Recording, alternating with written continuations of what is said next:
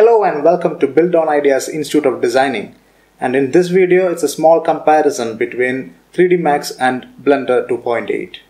So when we compare uh, Blender and uh, 3D Max, both these softwares can be used very much for architectural visualization as well as some other 3D modeling uh, requirements. But basically, these softwares are having precision modeling tools available in the software. So both these softwares can be used interchangeably as well as you can uh, easily migrate from uh, Blender to 3D Max as well as from 3D Max to Blender. The main advantages of uh, using Blender is that it is a free and open source software when compared to 3D Max which is a paid software and uh, the cost of uh, buying a 3D Max original software is very high when compared to other softwares available in the market. So when you see the interface of Blender as well as 3D Max you can see that most of the tools available in 3D Max as well as Blender are very similar. And if you consider the formats available in 3D Max as well as Blender you can easily import these files from um, 3D Max to Blender as well as from Blender to 3D Max. So it can be used interchangeably and uh, it's very easy to uh, go to the workflow. Now coming to the interface if you see uh, what is the interface and what is the difference in using the Blender as well as 3D Max. So when you open 3D Max you get a workspace of this kind the viewport we have uh, four uh, quadrants which is having a top front left and the perspective view. But when you open blender you get a default view of this kind with a single viewport and you have a cube in the center you have a light here and a camera on the left. This is the default uh, layout in which uh, blender comes and this is the layout in which 3d uh, max comes but you can make this interface into a full uh, single viewport by clicking alt w and you get a single viewport in uh, 3d max. Uh, in if you want a four quadrant interface in blender it's quite easy. By clicking on control alt and q you get four quadrants and then you can work similar to uh, what you call 3d uh, max. So that is the interface of blender and 3d max. So this is alt w and this is alt control and q so hold control Q it can toggle between uh, the single quadrant and uh, uh, single viewport as well as uh, four quadrant viewports. Alt control and Q. Now this is alt W. You can interchange between these uh, formats by clicking on alt W in 3d max. So that is the main difference or similarity between blender and 3d uh, max interface in the first look now coming to the move, rotate and scale, that is the transformations which are available in Blender as well as 3D Max. So what you have to do is like click on the object and then click on G and then to get a constraint you have to just click on Y to get Y direction and then X to get an X direction or Z to get the Z direction. So this is the kind of uh, movement which we have in Blender. But when you consider uh, an object in uh, 3D Max, what you can see here is a box and then you have to uh, if you want to move this object in 3d max what you have to do is like this is the move rotate and scale uh, tools available in 3d max and you can uh, click on W, E and R to access these uh, shortcuts for uh, W for move, R for rotate and S for scale. That is the kind of uh, interface which we use in 3D Max. So W and then click on this direction, red color for X direction y color for y direction and z color for z direction. Uh, blue color for z direction. So if you want to move you can move it like this. And uh, on the top you can move it like this. So uh, this is very much possible in 3d max as well as blender. So the, there are very similarity. The same way you can use this software uh, in blender you can use these three um, tools to to have the movement in these directions. So you have uh, the green color as y direction the red color as x direction and if you want the z direction you click on this move uh, the the blue color and then move in the z direction. So you can see the interface is very much similar in movement. Uh, the similar way if you click on R in blender you have the rotation. Also if you want to uh, rotate and using the toolbox uh, you can use this tool for uh, rotate and then you have this simple which, which is very much similar to the rotate in 3D Max. So you can see the similarity. Uh, it is like if you click on the red and then move, it is moving in the uh, x direction. Uh, the green is in y direction and uh, blue in blue blue in z direction. so that is the rotation and then if you want to see in blender you can see this green is the y direction and then uh, this is the x direction and this is the z direction so it is very much similar in rotation as well. Now coming to the uh, scale tool if you click on scale and then select this you have the same kind of gizmo in scale for this one as well as this one. Now you can uh, scale it by clicking on this by proportionally and here also you can do the same thing. Uh, if you click outside and then if you drag it you scale it proportionally. If you want it in y direction just click on here and then scale it like this. X in this way and c in blue color so that is the way if you see uh, you can move rotate and scale. So you have very much similar uh, properties available or the same uh, similar kind of shortcuts available for move rotate and scale. The only difference in using the uh, these three that is uh, move rotate and scale in blender as well as 3d max is that you have to uh, use different shortcuts. That is for in 3d max it is w e and r for move rotate and scale respectively but in blender it is g r and scale for grab rotate and scale. So instead of move we use grab in blender. Uh, we have if you want to zoom in this viewport of blender you have to just click on the uh, center mouse button and then scroll it so that you have this zoom option. It is also available by uh, clicking on the control button and then clicking on the center uh, mouse button and then uh, simply dragging it. The same thing is available in 3D uh, Max as well by clicking and dragging in this direction. Now if you want to uh, pan the uh, interface viewport, pan in the viewport, you just have to click the shift and then the middle mouse button and move you have you have the pan available in Blender. The same thing is available in uh, 3D Max by clicking on the middle mouse button and simply dragging.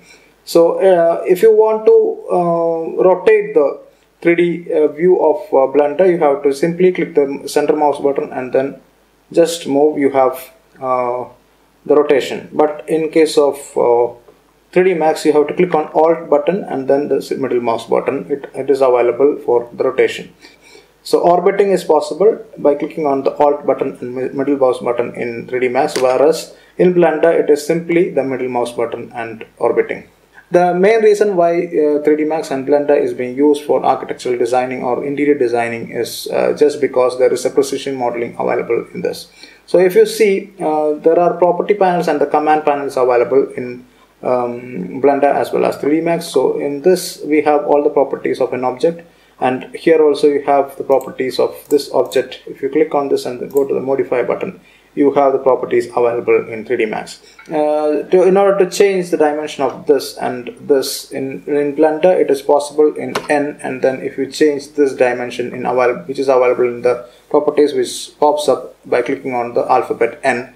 And then if you want to change the 200 to 300 just click here and do it as 300 so here also if you give 500 it is coming to 500 here if you want to make it as 450 we can make it as 450 the same thing is available in 3d max as well. If you click on this box and then if you want to change the direct dimension of this uh, in the modify properties you come here and then you just change whatever is required. So if you want to make it as 300 just make it 300 if you want to make it 500 just make it as 500 and if you want to make it this as 450 just make it as 450 so it is available. Coming to editing an object in blender as well as uh, 3d max you click on this object and then if you want to edit this object you have to go to the edit mode so different modes are available in the uh, tab key and if you click on the tab you have the edit mode available just click on tab to come to uh, selection different selections so if you click on 1, it goes to the vertex mode. If you click on 2, it goes to the edge mode. And if you click on 3, it goes to the face mode.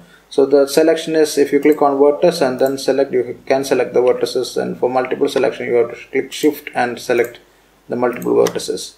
Now coming to the edges, click on 2, you go to the edge mode and then you can select by clicking on the shift and uh, holding the shift, you can select multiple uh, selections in, uh, in Blender. Um, so if you come to the face by clicking on 3, uh, 3 is the shortcut for uh, selecting the face and face mode and then clicking on the shift you can select multiple uh, faces. Now coming to the 3D Max, in order to have this edit, you just convert this by clicking on here and convert to edit poly.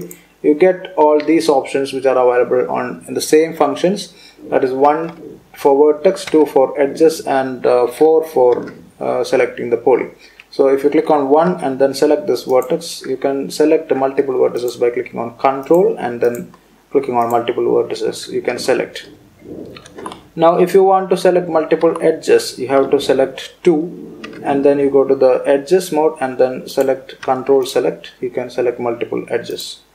So this is available and this is very similar to blender as well.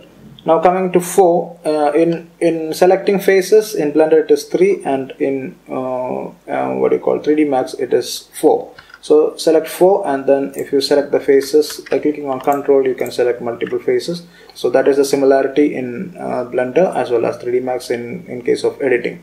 Now in order to give the extrude or uh, to change the deformations in uh, in blender as well as 3d max if you see you have a box here in about this. If you see like this it is very similar now. If you want to extrude this face select this face and click on E. You have an additional face here and if you select this and then if you click and drag you have additional faces available in blender. The similar function is available here in 3d max by clicking on this face and then if you click on E nothing happens. It goes into the rotate uh, mode. But if you want to extrude this face you just have to come here in this tool in the modify uh, command panel and then you just select this extrude uh, and then you have the dimensions available. So I'm just clicking F4 to see the vertices and the faces uh, you can see the faces available. Now click on the stick and then again if you want to have another extrude you can click here and then have it. So it's more easier in blender. You can see that uh, the extrude function is very easy in blender. So there are very similar uh, functions and properties available in blender for uh, doing the precision modeling so uh, if you want to create a plan and then uh, extrude a plan in 3d max and as well as in blender it's very easy. I'm just importing a model a plan into blender as well as uh, into 3d uh, max. So when you come to blender first uh, come to the scenes you can see what are the units which are available here. So you come to the metric here and then in the scene there are a lot of tools available out here. In this you come to the scenes and then you find the units out here. You make it as metric and in length I have made it as centimeters. Similar thing is available in max as well uh, by going into um, into customize and then you have the unit set about here. So it is available I just drag it here uh, in customize and then you come to unit setup. You have the units here so come to metrics and then make it as centimeters. This is how it is done in 3d max. I'm just dragging it again. Uh, so when you come to uh, the precision modeling it is very important to make sure that it is in uh, the correct units. Importing as autocad.dxf and i'm importing this. When importing we have to make sure that units is in this uh, by default it is in meters. I'm just converting it as uh, 0.01 that is in centimeters and then I am importing it. Now you have uh, the plan available in centimeters out here. The same way if you are importing it into this now you have to make sure that importing and then I'm importing this plan. When you click on here you have this centimeters available and then rescale. So incoming file unit is centimeters and then you are clicking on the rescale to have the right uh, units. So you have you can see in blender it is um, available as centimeters and in uh, 3d max also it is available as centimeters. So this is the basic interface and then when you when you start modeling it is very easy in 3d max as well as in uh, blender. So in blender what you do is like uh, you just click on add and then in mesh you start modeling by clicking on uh, single vertex. You have it in the near the 3d cursor. I'm just moving it by clicking on uh, the vertex mode and then I'm just moving it to this point. So in order to have the snapping option available what you do is like you just have to uh, click on the snap option and then make it as vertex and then just simply grab this to this point and then click on E the sub function to have the extrude and then uh, start extruding. So you have uh, the lines available. Now click on F by clicking on A and then F. And then you uh, have an insert and then you click on 20 to have uh, the output. The outline and then what you do is like just select this face delete the face and then so by uh, having this uh, what you do is like you extrude by 300 so you have a wall in blender which is very much uh, in dimension. Uh, coming to the 3d max to in order to uh, have the lines available just go to the modify command panel i mean the line find the lines uh, shape shapes available in command panel come to the line and then start drawing by having the snap on. And then click and then start drawing it here. And you have it and what I do is like in order to have uh, thickness just click on the splines and then uh, select this line. Have an outline of 20 centimeters. And then what to do is like you extrude from the properties. So you give 300 here you have it as 300 so that's how uh, we start uh, doing the modeling in blender so likewise you can it's very easy for you to do this uh, editing and transformations and uh, zooming panning everything is quite similar in 3d max as well as in blender so try using uh, both softwares together. If you want to save some money, you can come into Blender and use a free and open source software. And if you're okay with the original soft buying original software in 3D Max, it's a good software, can be used for 3D modeling and architecture visualization. So Blender and 3, uh, 3D Max can go hand by hand and then you can use it interchangeably and the formats are also very much supporting to each other. Uh, only difference is like Blender is a free and open source software, so you can use it free of cost commercially as well. In 3D Max, you have to pay something, uh, some big amounts for buying the software, so the original software. Now, one thing I would like to tell you is like using pirated softwares is very uh, is a crime, and you should not use that. So avoid using pirated softwares. Buy original softwares like 3D Max, which are paid softwares. And if you want a three a free software which can be used commercially, use Blender 2.8 so architectural visualization is very much possible in Blender as well as 3D Max. So compare uh, compare these two and then find which soft, which software is suiting your requirements and then use it accordingly. All the best.